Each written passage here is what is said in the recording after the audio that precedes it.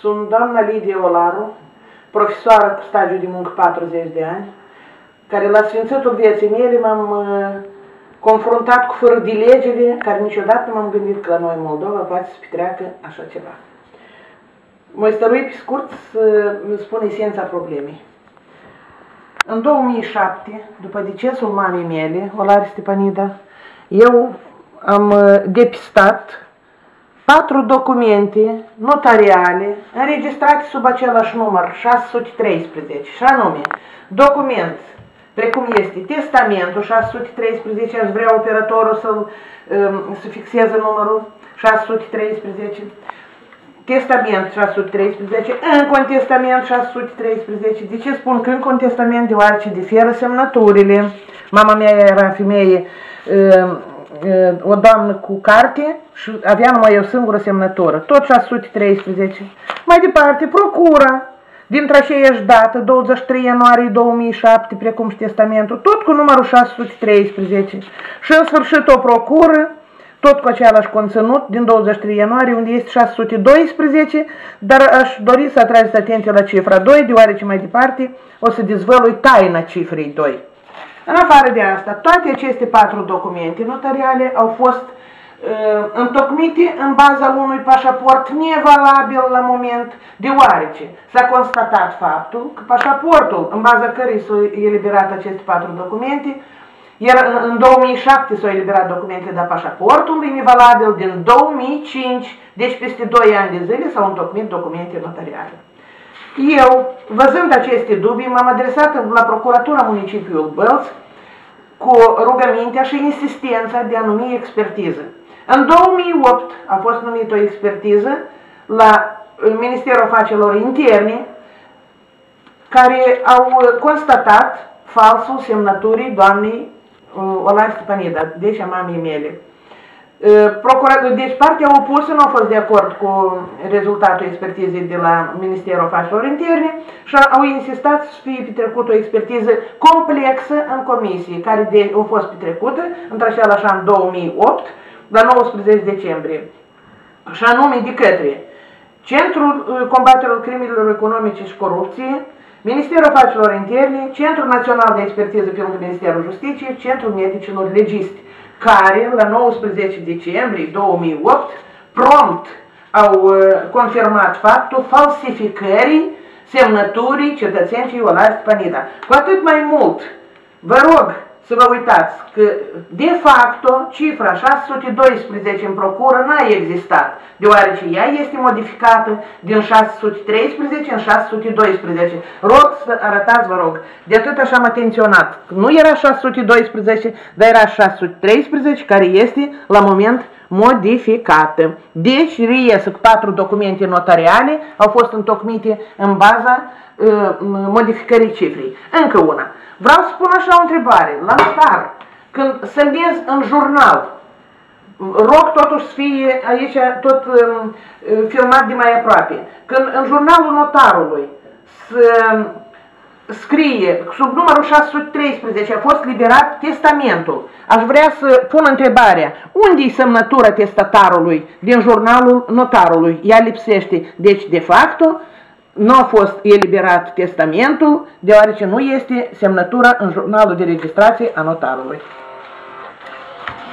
Mai departe, deci, s-a mai constatat falsificare și în borderoul de primire a pensiei, în, în ziua decesului, când a murit doamna Olar, poftim, fiind omul mort pe pat, să uh, falsifică semnătura. Tot a fost constatat faptul. Și încă una, tot a fost primit pensie în baza pașaportului nevalabil din 2005, deoarece aici vreau să vă accentuez că după cum am depistat acum în luptă de 3 ani pe al patrulea, în sfârșit am primit de la Ministerul Tehnologiei Informaționale, grație uh, ministrului Pavel Filip, la care am fost la primire, am primit în sfârșit răspuns că da, s-a uh, adeverit dubiile mele pe marginea că au fost lăsate două pașapoarte în vigoare. Deci pașaport ex-sovietic, de tip sovietic și buletin de identitate. Buletinul eliberat din 2005 din momentul, uh, din 14 noiembrie 2005, pașaportul ex-sovietic este nevalabil, dar pașaport, buletinul era ascuns, intenționat și toate documentele din 2007 so, uh, notariale s-au făcut în baza pașaportului ex-sovietic. Mai departe, am fost uh, uh, cum, am fost adeverită de către șeful direcției Maiului, domnul Iuri Florea, că expertiza în 2008 a fost trecut în baza legalității și a, a fost plasat în capul mesei legea. De asemenea, tot în 2008 am fost uh, adeverită de către uh, șef, directorul CCEC-ului, Centrul pentru combaterea crimelor organizate, domnul Sergiu Burduja, că tot expertiza s-a petrecut în baza legalității și uh, pus în capul, plasat în capul mesei legea. Dar, ce am vrut eu să spun, uh, partea opusă, văzând că de acum sunt uh, probe destul de dovedite, a luat și a angajat un avocat de municipiul Bălț, fost procuror, fost viceprocuror de Bălț, care, folosindu-se de cunoștințele sale cât în Bălț, atât și în Republică, au început a lichida probele adeverite. Și cum? Prima și prima dată au găsit, uh, au găsit uh, judecătorul de municipiu Bălț, Nicolae Ocerednăi, care a emis o încheiere de a exclude probele de expertiză din dosarul penal ca inadmisibile. Ca inadmisibile. Probele petrecute la instituțiile statale din Republica Moldova. Pe urmă, prin decizia Curții Supreme de Justiție, din data de 2 februarie 2010, încheierea judecătorului Ocerednei a fost a fost casată și lăsată în vigoare că să petreacă mai departe investigația și dosarul penal.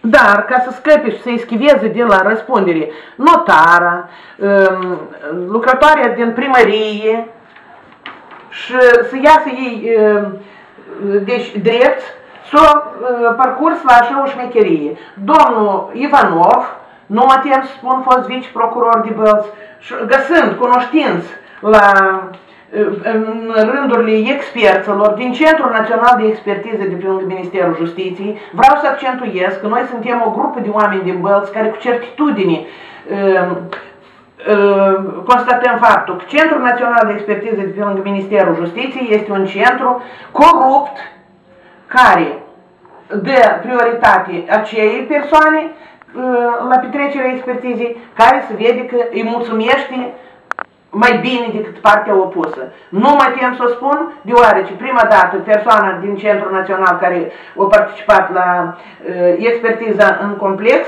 o dat pozitiv răspuns, de acum toate expertizele după ce s-a implicat domnul fost viceprocuror de Bălți, având legături la Procuratura Generală, Deamă, raportul este, din, raportul, luați vă rog, alt raport de expertiză, din 29 noiembrie, este tot în complex, trecut de și instituții statale ca și în 2008, de Centrul Combaterea Crimilor Economice, de către MAI, Centrul Național, Centrul Medicilor Legisti, este contrară deci, de acum, comparativ cu expertiza din 2008, în 2010 s-a spus precum că asta e semnătura mamei mele. Ceea și eu încă o dată, cu toată răspunderea, spun că nu sunt semnăturile mamei. Acum, deoarece s-a primit că în 2008 uh, expertiza petrecută în comisie de către Centrul de Combatere a Crimei, MAIU, Centrul Național, Centrul Medicilor Legiști, analogic în 2010 și este, rezultatele expertizelor sunt contrar opuse, eu insistent rog să fie confruntate aceste două grupe de experți pentru a face o expertiză în comun și de a ajunge la un numitor comun. Să vedem totuși care din grupul este de experți pretins ilegal a făcut expertiza petrecută, nu în baza legii, ci în baza uh, să le intre în voie la una sau la altă parte. De un caz că o grupă sau alta sau grupa din 2008 sau grupa din 2010 este vinovată, rog să fie atrași la răspundere penală, deoarece este așa regulament că bazându-ne pe eu nu știu care articol, în orice caz articolul spune așa că dacă experți fac expertiza uh, nu conform legii, ei uh, duc răspundere penală. Numai atunci eu să primesc ca bază expertiza petrecută acum în 2010. Deoarece vreau să vă spun că expertiza, deși aici nu s-a elucidat faptul că este contrafăcut documentul 613 în 612, aici absolut nimic nu s-a făcut. Nu s-a petrecut absolut nimic. Numai să scriu povești la gura sobii.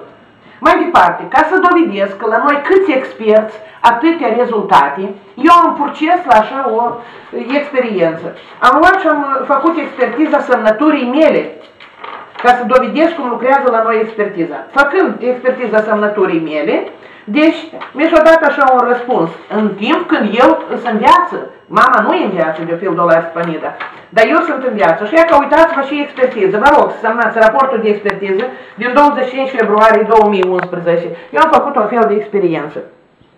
Am depus semnăturile mele la expertiză și să văd și eu să spui, să mele sau nu. Rezultatul este foarte bănuitor unde se scrie că semnătura executată de către mine, adică de către Olar Lidia Nicolaevna, este imitată, nu este făcută de mine. Cum poate eu om viu și nu pot dovedi că semnătura e mea cu atât mai mult, dar și-am vorbi că un om decedat nu poate nici de cum să dovedească că semnătura e aparține lui.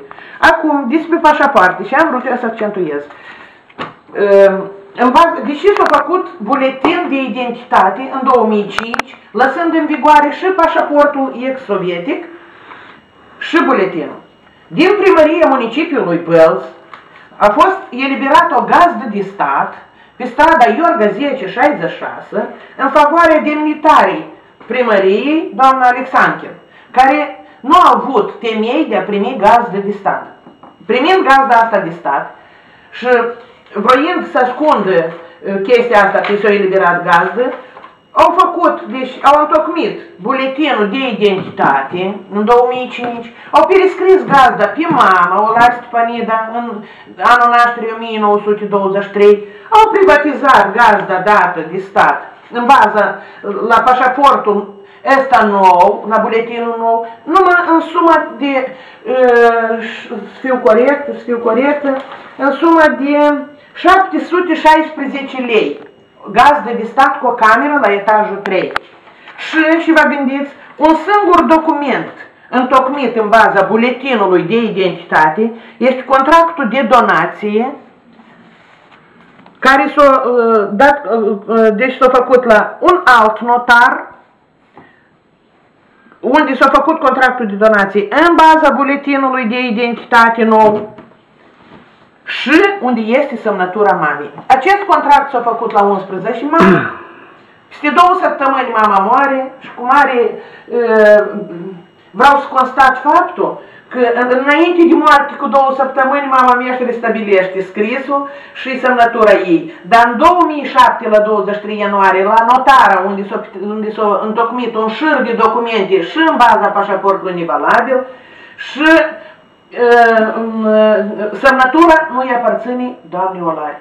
Deci, eu, încă o dată, cu certitudine afirm că a fost intenționat, bine gândit, șmecheriile de a ascunde falsificarea și întocmirea așa documente ca testamentul și procuri în baza unui pașaport nevalabil și rog să fac o investigație numai decât să fie făcută încă o dată o expertiză, unde să fie confruntate două grupe de experți pentru elucidarea faptului care, pretins ilegal, au petrecut expertiza nu în baza legii, dar în favoarea unii sau alte părți, pentru a eschiva notara de la răspundere, pentru a eschiva lucrătoarea de primărie de la răspundere și, alt, și lucrătorii din secția evidență documentare a populației care au lăsat două pașapoarte în vigoare.